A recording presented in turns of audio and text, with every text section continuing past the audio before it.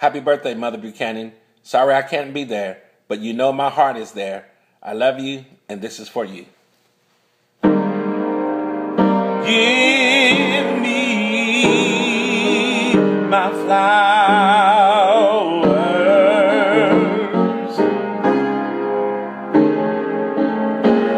While